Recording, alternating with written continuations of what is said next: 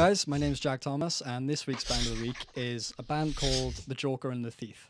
Um, this band are kind of a folky, rock and roll, jazzy sort of mix. It's very distinct, and they've got a very unique sound.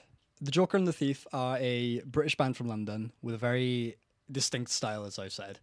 I like them because they they come across the vocals especially come across as very powerful and distinct with a unique flair to it. They have a similar feel to a lot of folk bands, but they also have a bit of a hint of Queens of the Stone Age. So it's a unique sort of blend of jazz and, and folk and rock and roll.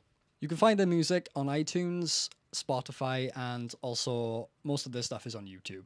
So overall, I feel that The Joker and the Thief are very distinct, very unique to their own sound, and I definitely think you should listen to them. So that was my band of the week. Check back next week for somebody else's recommendation. I've been Jack Thomas, so uh, uh, ha! I'm underwater. You should probably uh, like and subscribe and favorite all these videos.